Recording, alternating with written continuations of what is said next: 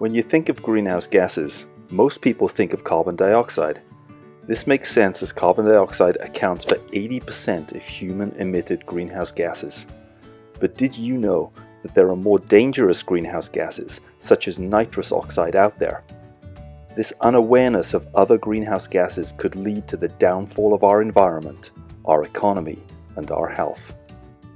Nitrous oxide is a small chemical compound comprised of only two nitrogen atoms on one oxygen atom.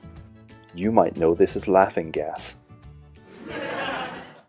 it's hard to believe that this small molecule is really an extremely potent greenhouse gas. In fact, one nitrous oxide molecule has the same impact as 310 carbon dioxide molecules. Current nitrous oxide levels are the highest they've ever been during the last 800,000 years. The atmospheric concentration of nitrous oxide began to increase during the Industrial Revolution due to human activities. You may not realize that agriculture is the number one human activity that emits nitrous oxide, releasing almost 4 million tons per year globally. Agriculture accounts for 67% of all human nitrous oxide emissions. Let's take a look at the chemistry behind nitrous oxide in the nitrogen cycle. Nitrogen gas in the air is converted into ammonia and ammonium and then nitrate and nitrite ions by bacteria in the soil. During this process, nitrous oxide is released as a byproduct into the atmosphere.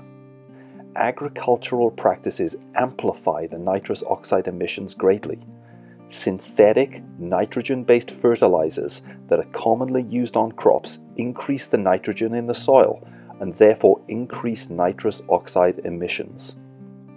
In fact, there is a direct correlation between the increased use of nitrogen fertilizers used by industrial agriculture and the increase in nitrous oxide emissions. One of the many solutions to nitrous oxide emissions is to eat only organic foods that do not use synthetic nitrogen fertilizer. Another attainable solution is to limit or even eliminate eating meat, specifically beef.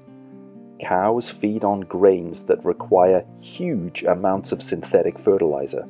If you really feel that you need to eat meat, consider eating grass fed beef. Climate change threatens the health of our planet and our people. Now is the time to step up and make a change before it's too late.